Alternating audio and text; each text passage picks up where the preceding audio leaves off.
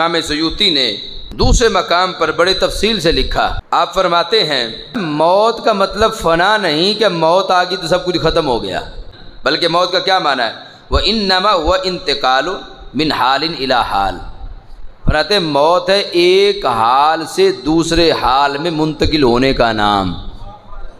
कि पहले बंदा आलम अरवा में था, फिर माँ के पेट में था, फिर दुनिया में आया, दुनिया से फिर कब्र में पहुँच गया, बरज़ख में चला गया।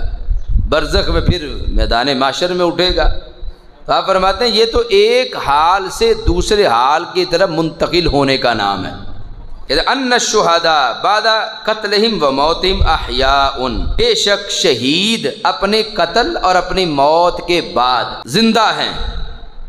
और उन्हें खुशी भी महसूस होती है। युरजकूना, वो रिज्क भी पाते हैं।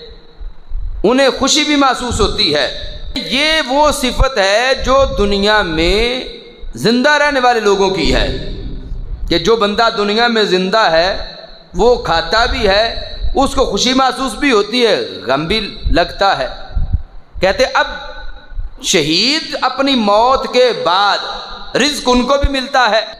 खुशी उसको भी होती है। बल अम्बिया हक को बेजाली का वाला कहते, अगर शहीद को ये शान मिली है कि बाद विसाल उसको रिज्क भी मिलता है, उसको खुशी भी महसूस होती है, फिर अल्लाह के नबियों का तो मर्तबा शहीद से कहीं ज़्यादा है।